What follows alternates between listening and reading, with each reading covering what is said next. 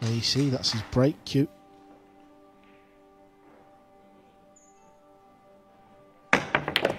Oh, SVB with a beauty!